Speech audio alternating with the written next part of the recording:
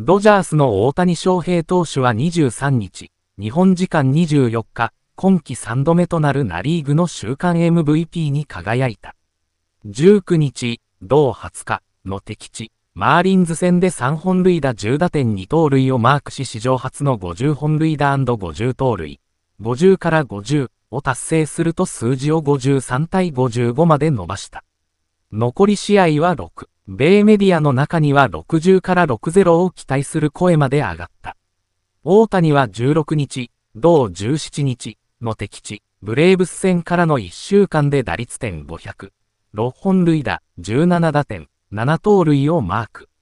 19日、同20日のマーリンズ戦では6打数6安打、3本塁打10打点2盗塁の荒稼ぎで一気に51、51に到達。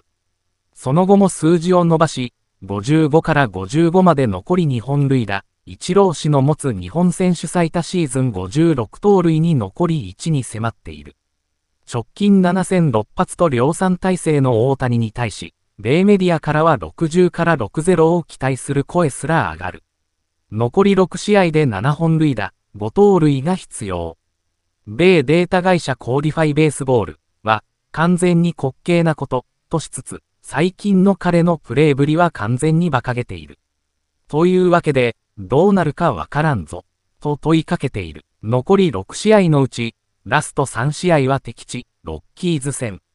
標高約1600メートルに位置するクアーズフィールドは気圧が低く空気抵抗が少ないため、打者天国としても知られる。大谷自身も通算375、40打数15安打、3本塁打10打点、オプス1.169と打ち込んでいる。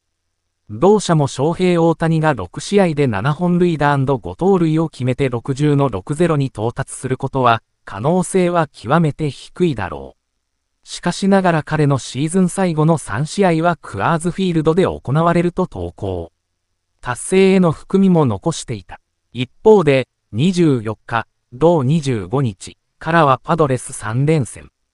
パドレス戦の通算成績は打率点188、64打数12安打、日本塁打6打点、オプス636で、球団別で見ると、打率、オプスはワースト1位となっている。